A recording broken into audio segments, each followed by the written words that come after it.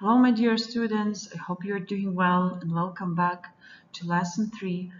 Today we are going to talk about the start and the spread of religion. In this lesson, you will learn how religion started and understand how religion spread all over the world. You need to know that there is no record, a date, when exactly religion started on earth. But we know who and when established the major world religions. If you take a look at the timeline, you will find out the time and the person who established the world religion.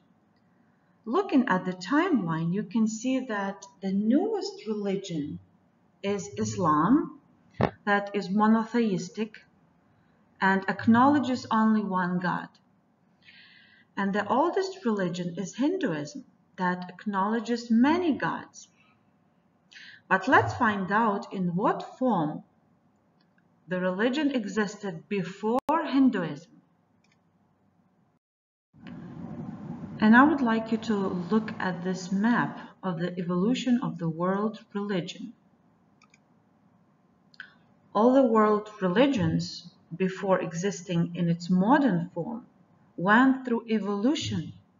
Look at the map again. You will notice that before in Hinduism, religion started and existed in its animistic form in the ancient world.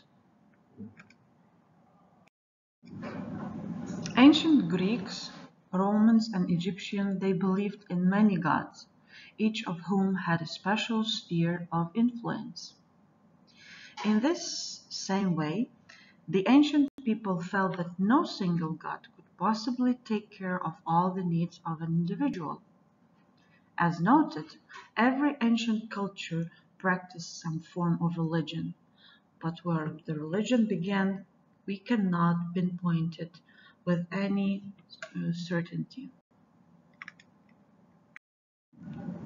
Now, Romans, just like Egyptians or Greeks, would also worship many gods. Each god had his own role. They had gods for marriage, they had a god for beauty, a god for wisdom, even a chief god for the sky and air.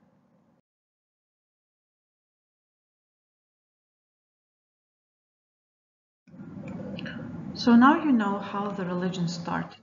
And uh, looking at this map, you can explore how they actually spread all around the world in different periods of time. Alright, it's all for today. Thank you for your attention. See you in class.